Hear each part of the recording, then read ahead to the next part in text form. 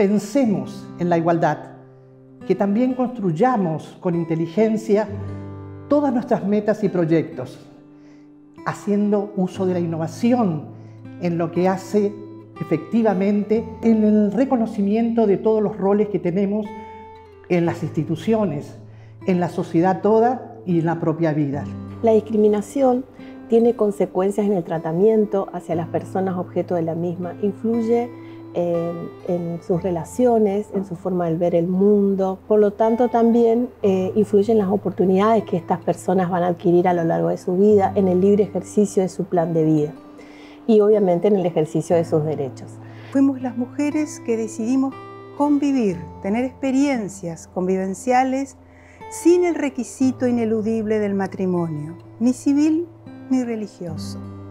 Y eso trajo como consecuencia la decisión de adaptarnos a las posibilidades de ser denominadas por aquel entonces como calificación madres solteras o mujeres solas.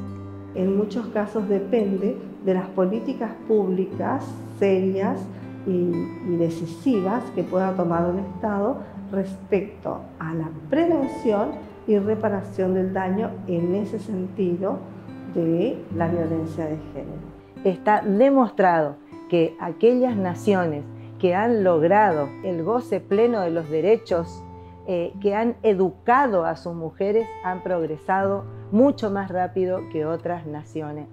En los países, eh, sobre todo más pobres, la brecha digital es una causa creciente que afianza esta diferencia entre eh, las mujeres y los hombres. Desde la década del 70 en el siglo pasado se acuña esto del techo de cristal porque son las barreras, normas no escritas hacia el interior de las instituciones, de las empresas, que impiden a las mujeres progresar en el mismo nivel que los hombres para, en los puestos de trabajo. Pero en cuanto al trabajo, creo que trabajamos de igual a igual, la misma inteligencia, los mismos problemas, los mismos obstáculos.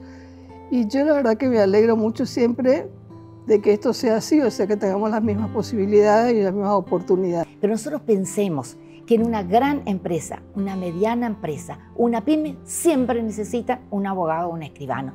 Pensemos en la carrera judicial en todos sus escalafones. En mi época podíamos ser abogados, escribana para ser funcionaria. Hoy exclusivamente abogadas. Espero que tengamos fuerza siempre para producir el cambio cultural, para prevenir, porque las leyes que tenemos están ahí, pero lo importante es que nos apropiemos nosotros de estas reglas de convivencia para prevenir y erradicar la violencia contra la mujer. Esta casa de estudio ha formado mujeres valientes, mujeres que se han animado a traspasar esas creencias limitantes. En este sentido, nuestra institución, en el convencimiento de que la, educación es una herramienta fundamental, lo viene realizando de manera constante, continua y permanente.